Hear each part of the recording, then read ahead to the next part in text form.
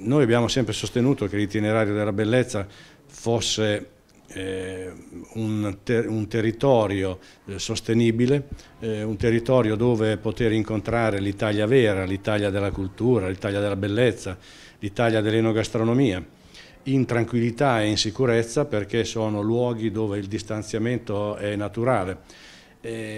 E questo nostro, questo nostro, convincimento sta oggi avendo un riscontro con eh, le presenze che vengono assicurate da questi gruppi eh, di turisti. Peraltro nel mese di settembre avremo anche un educational tour con eh, agenzie di viaggio sempre del nord Italia che saranno Trafano, Pesaro, eh, Urbino, Cagli, eh, Mondavio e Pergola per eh, apprezzare veramente l'offerta eh, del nostro territorio.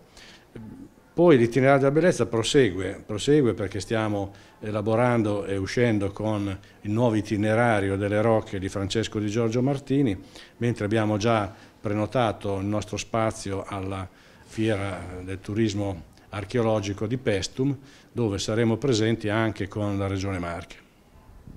Vincitore di questa stagione estiva si può dire che è stato il turismo di prossimità?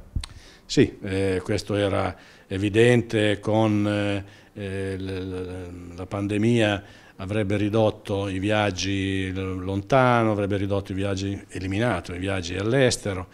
La riscoperta del nostro territorio, la riscoperta dell'Italia era all'ordine del giorno. Avremmo eh, avuto un turismo appunto di prossimità. E questo ha consentito a molti marchigiani di conoscere meglio le Marche, a molti residenti nella nostra provincia di scoprire eh, le eccellenze del nostro territorio. E l'itinerario della bellezza ha contribuito per, a farle conoscere perché in fondo è l'unica guida presente anche negli uffici di informazione turistica che dà un'informazione su un territorio più vasto, che appunto sono i 12 comuni eh, più belli della nostra provincia.